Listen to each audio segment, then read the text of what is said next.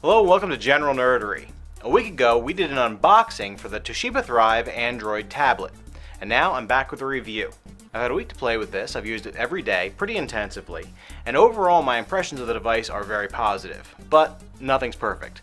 So let's cover the bad points first. First of all, in my unboxing, I showed this panel here, which is where you would gain access to the USB ports and to the HDMI. My first complaint would be this door is difficult to get into, uh, especially if you have very trimmed fingernails. You can get a feel for it, but it's just unnecessarily hard to get open. Now, I expect it'll probably loosen up with age, but still, it's worth mentioning. The second point is that the volume on the device is a little bit on the quiet side. And I don't mean through its own speakers. Uh, there's only so much that you can expect out of the tiny speakers that they put in a device like this. I'm referring to when you're using headphones. There's really no excuse why a device like this can't provide enough power through the headphone jack. Naturally, this will vary depending on the content and how, how loud it was recorded, but it still feels unnecessarily quiet. Now usually limitations like this are actually programmed into the device rather than being a limitation of the amplifier in the device. And therefore, if enough people complain about it, Toshiba will likely fix it in a future firmware update. In the meantime, what I'm going to be doing is ordering a set of Bluetooth headphones, which of course will have their own amplifier and volume control. You can also get a dedicated headphone amplifier for just a few dollars on eBay. My final complaint with the device is the camera, and I do mean the 5 megapixel rear facing camera, which is the one that they intend you to actually take pictures with. Now, I wasn't expecting SLR quality photos out of this. I wasn't even expecting point and shoot quality photos out of this, but I was expecting cell phone quality photos, and this does not deliver in this respect. Uh, not only does it not have an LED, which would improve its indoor photography, but even under bright light conditions, the pictures just aren't sharp. It's a 5 megapixel camera, which is more than enough to make a crystal clear 4x6 or 5x7 image, and the lens just does not deliver. For that reason, if photo taking is the most important thing you want to do with your device, and I don't know why you would buy a tablet just to take photos, but if it's that important to you, this is not the device for you. Me, I don't really care. I usually have a camera with me, and when I don't, my phone takes better pictures, so no problem. So that's my complaints with the device. What's good about it? A lot's good about it. First of all, the Tegra 2 processor does not disappoint. It lives up to its claims. The device is fast, it's responsive, uh, it works great for games, it works great for uh, video. Uh, Toshiba touts its multimedia capabilities. It can play 1080p video smoothly. Um, I would note, however, that um, MKV files at 1080p do tend to chug along a little bit. That's because the MKV file format relies heavily on the CPU of your device. And let's face it, it is only a 2 gigahertz processor. My 3 gigahertz uh, old VAIO computer there chugs along with 1080p MKV, so I can't really blame a device like this. Uh, all you need to do is re-encode your videos to MPEG-4, and uh, you should have no difficulty. Uh, incidentally, the next episode of General Nerdery, I'm going to be covering video conversion and uh, with emphasis on converting for Android devices. Another good point about the device is the screen is quite easy on the eyes, and I mean that in more ways than one. It's easy on the eyes in that it's pretty and colorful and can be very bright, but it's also easy on the eyes in that it's very comfortable to look at in a wide variety of lighting conditions. Uh, this is due to two things. First of all, Toshiba has included an intelligent uh, brightness and contrast control with, which adjusts automatically depending on the lighting environment that you're in. So in a bright room, it will turn up the brightness and the contrast accordingly, and in a dark room, it will turn them down. Uh, this means that I can go to bed, turn off the lights, and read in the dark and feel quite comfortable. Uh, likewise, I can be standing in a room with a big old sunlight and still read the tablet. The other way it's easy on the eyes is uh, when viewing in portrait mode. I've noticed with some other tablets that uh, because of a particularly narrow vertical angle of view, your left and right eye will see a significant difference in contrast, and this just hurts my brain.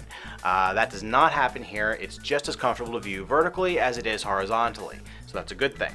Another positive point for the tablet is the fact that the uh, HDMI out is a true HDMI out.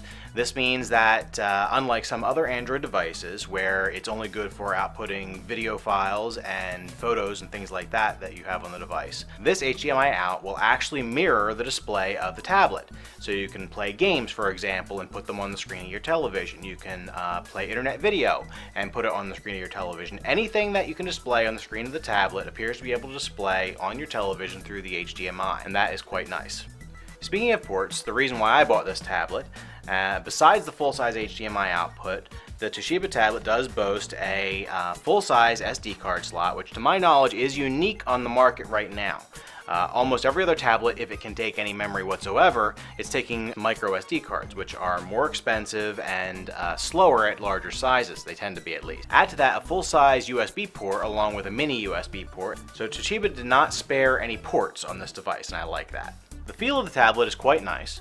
Uh, it has a rubberized back, highly texturized, and rounded edges. These come together, first of all, to mean that the tablet is not going to easily slip out of your hand. You're not going to drop it accidentally. You shouldn't. I'd also like to note, as far as the operating system of the device, of course, uh, Android 3.0 is not unique to the Toshiba tablet. However, um, you may have heard rumors if you're looking at uh, various options, whether that be Android or um, BlackBerry's tablet or the HP tablet running WebOS, uh, or of course the iPad, uh, whether the Android 3.0 uh, operating system is ready for uh, for serious use. Uh, Google themselves said when it first came out that they did kind of rush it out and it wasn't quite ready at the time.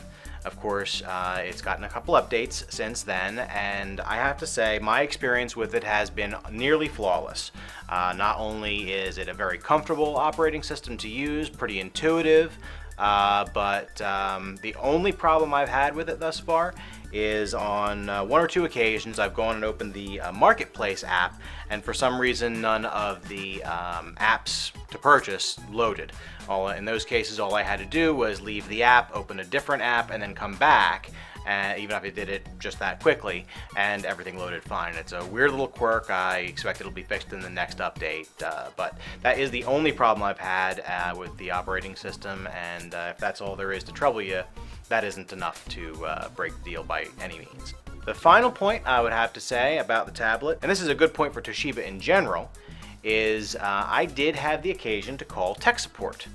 And um, I may have been encrypting my tablet, and I may have accidentally forgotten the password or mistyped the password more, more accurately when I uh, entered it initially, and I may have locked myself out of the tablet, and I may have needed to uh, know how to do a factory reset without being able to log in. I called Toshiba and was expecting to sit on hold for 40 minutes or so, waiting to get through to a person, and hoped that they would have the answer I needed.